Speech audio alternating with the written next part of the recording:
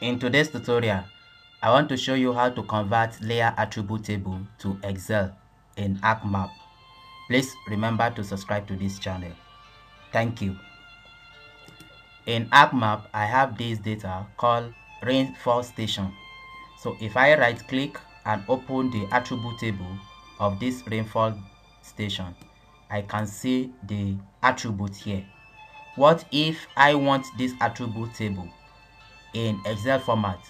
Normally, we highlight everything, copy, then go to Excel and paste. But you can actually convert it directly from here to Excel. So to do that, come to Arc Toolbox, come to Conversion Tools. Then you see Excel. Expand it. You see Table to Excel. Double click Table to Excel then input table. Click on this drop down and put the layer you want to convert in this case rainfall station this very layer. Then specify the working folder where you want to save it. Let's save it in this rainfall station folder. So we can call it any name. Let's just call it rainfall. So click on save. Then click on OK. So in few seconds to a minute, it will be converted from layer to Excel sheet.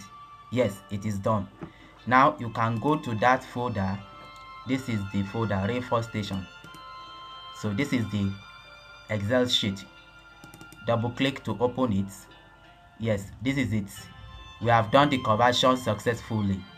This is it in Excel so if you compare it with our original uh, attribute table if you right click and open attribute table again you see that we have the same thing we have here as we have it in the excel.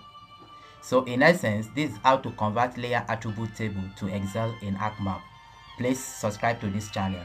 Thank you